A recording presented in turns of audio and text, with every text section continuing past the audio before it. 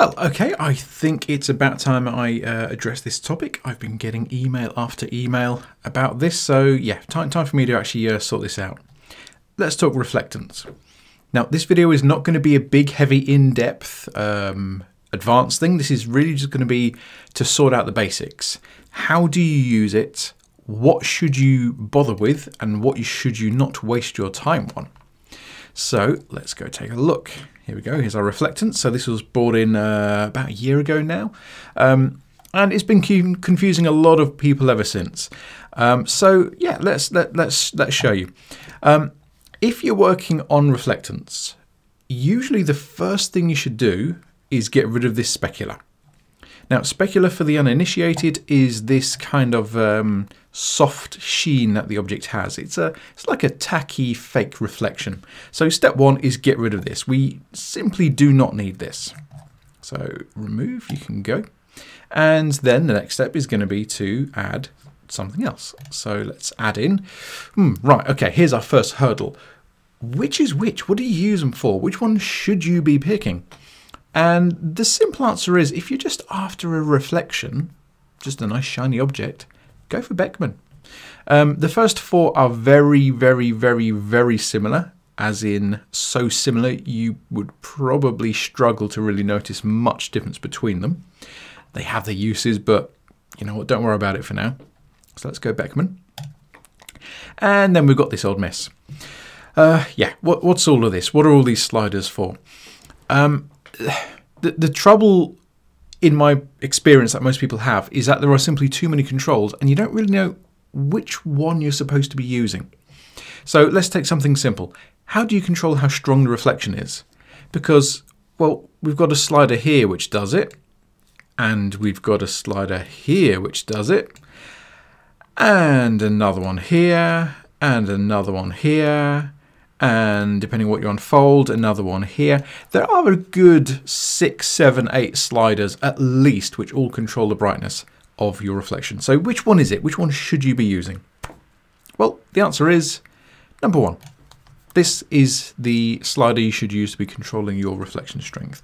Again, the others have uses, but they're few and far between, to be brutally honest. So if you're just trying to control how strong this reflection is, let's just um, change our base material. So let's say our color is orange, nice bright orange. Then with our reflectance, initially at 100% for layer number one. So layer number one, by the way, this is our Beckmann reflection that we added a few moments ago. And if I can change how strong this reflection here is, then we'll start getting some of the yellow coming through and all the way down to having a, a matte finish on the object. So yeah, just use that first slider to uh, change the reflection strength. Now, what else is worth knowing about? What else is worth doing for just your normal day-to-day -day tasks? Well, the next thing is going to be roughness. This is a measurement of how crisp and clear your reflection will be. So with no roughness, you will have this nice, highly polished, uh, shiny reflection. But as this thing creeps up, and you've usually got to get it above a good 5 or 10% before you really notice it. So I'm just going to jump straight in at about 20. Oh, look at that accurate click. Um, yeah, there you go. You'll get a nice, soft, sort of almost um, powder coated, scratchy plastic, uh, electro coated finish on your object. Um, word of warning this will increase your render times quite noticeably, um, depending how much of it takes up your image. We're talking at least doubling, tripling, or quadrupling your render time. So do consider whether or not you can actually afford to have this effect turned on. I'll be turning off for now. Um, and the last of the sort of uh, basic main day-to-day -day settings is color. So color is typically what you're going to use for metals. So a fairly common question, how do you do gold? How do you do copper? How do you do bronze? How do you do precious metals, basically? Um, a mistake most people will make is that they'll stick the color of the metal in the color settings. And yeah, this is actually a fairly obvious, intuitive thing to do, but it's not how you should. Um, instead, what you'll notice is if you go for, let's say, let's say you're trying to make gold. If I put this sort of a golden color in my color settings, well, all we'll actually end up with is a a yellow shiny thing, which is not very helpful at all.